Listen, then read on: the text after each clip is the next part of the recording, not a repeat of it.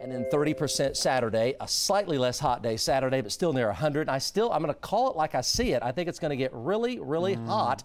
And the, some of the kids are back in school next week. I do think we've got a real decent chance, unfortunately, hitting 110 or 111 Tuesday, Wednesday, and Thursday. Well, we'll just concentrate on that rain. Focus on the rain. And before you go, my friend, we want to congratulate my buddy Mike Morgan on another Emmy win. Let me show you a picture of Mike and his wife Marla at the ceremony No- Notice last how she's, weekend. she's carrying the hardware, Kev. Well, and that's- folks are thinking, Emmy, what are you talking about? This was actually for some for stuff that happened like a year ago. That Right. thing likes us, not for the heat. Yeah, no, not for Want the heat. Want to be clear about that. And Mike was competing against folks uh, in in cities as far away as Denver. Yeah.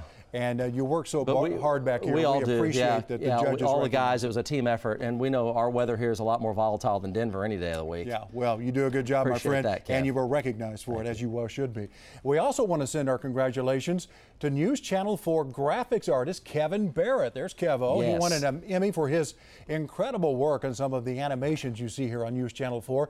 Kevin's been with us for more than a decade. He is a real pro and a great, great guy, and we're happy for him and for Mike, too. In sports, you might